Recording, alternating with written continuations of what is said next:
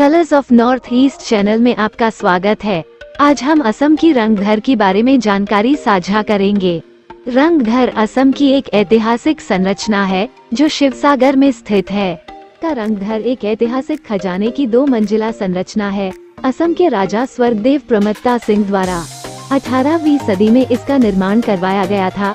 ये 10 मीटर ऊँचा शाही खेल मंडप विशेष रूप से बिहू महोत्सव के दौरान आयोजित होने वाले सांस्कृतिक कार्यक्रमों और पारंपरिक खेलों जैसे भैंसों और हाथी की लड़ाई आदि को देखने के लिए बनवाया गया था। रंग घर के प्रवेश द्वार के दोनों ओर पत्थर के मगरमच्छ की नक्काशीदार खूबसूरत संरचनाएँ हैं, जबकि छत की मुख्य संरचना एक नाव की तरह ऊपर की ओर बनी हुई है। नैतिक कथाओं के अनुसार छत के केंद्र में एक छिद्र है। रंग घर सुंदर फूलों और ज्यामितीय डिजाइनों के साथ सुशोभित है। यह इमारत विशेष रूप से लाल ईटों, विशेष प्रकार के चावल और अंडों से सजाई गई है।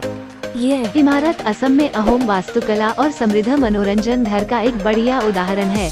आप जैसे ही रंग घर के भीतर प्रवेश करेंगे, आपको यहाँ अनूठी मूर्तियों के साथ सजाए गए मेहराब की श्रृंखला देखने को मिलेगी। के भीतर से एक सीढ़ी ऊपर की ओर जाती है, जहाँ से राजसी और गणमान्य व्यक्ति विशेष कार्यक्रमों और घटनाओं आनंद लेते थे।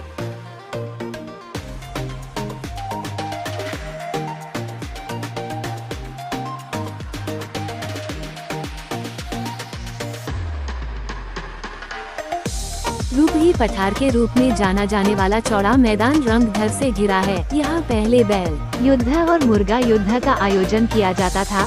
अब ये क्षेत्र सजे हुए मैदानों के रूप बना हुआ है, जो रंगघर के मुख्य भाग से सुंदर दिखाई देता है।